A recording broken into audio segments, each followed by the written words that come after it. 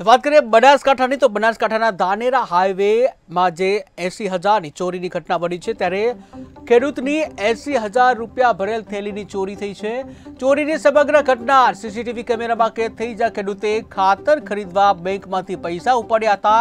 ત્યારે રૂપિયા ભરેલ થેલી ટ્રેક્ટરમાં મૂકી અને દુકાન પાસે ગયો હતો ખેડૂત. ત્યારે ગઠિયો તકનો લાભ લઈ થેલી લઈ રફુ ચક્કર થઈ ગયો. ધાનેરા પોલીસે બે અજાણ્યા ઇસમોને પકડી પાડવા ચક્રો ગતિમાન કર્યા છે.